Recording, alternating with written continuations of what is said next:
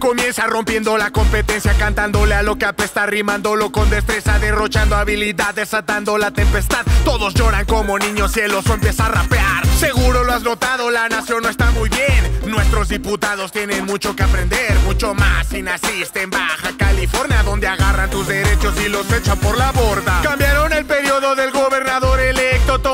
Congreso para aprovechar su puesto. Todo mundo reclamó, se orinaron en la nación, pero eso ya no importa, la decisión se tomó. ¿Qué pasó con la izquierda valiente y libertaria? Una realidad que están muy cerca de olvidarla. Si algo no andaba bien, salían a manifestarte, pero ahora si lo haces, se acabas en la cárcel. Tabasco de Obrador es su tierra natal y es en donde las marchas quieren criminalizar. Porque siempre es muy chingón poder manifestarte, pero si es en tu contra que los metan a la cárcel. ¿A donde se fue la izquierda diferente, esa que peleaba los derechos de la gente. Dile a tu mamá que si se encuentra preocupada, es por la traición de esos hijos de la chingada. Rap, rap, rap semanal